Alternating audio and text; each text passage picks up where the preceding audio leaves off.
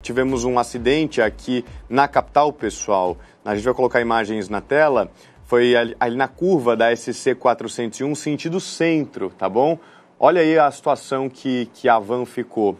É, ela chegou a capotar, tá certo? A gente tem reflexos já no trânsito, sendo sentidos pelos condutores. Quatro adultos e três crianças envolvidas no acidente. A gente está apurando as informações, tentando entender o estado deles agora, tá certo? O estado de saúde. E daqui a pouquinho a gente volta para atualizar. Paulo Miller já se desloca para lá para garantir uh, a, a, nossa entrada ao vivo e garantir que a informação chegue até, vo até você. O fato é que se você for passar pela SC401, estiver saindo do norte da ilha, sentido centro, provavelmente vai enfrentar uma lentidão no trânsito, tá certo? Daqui a pouquinho a gente repassa as informações completas.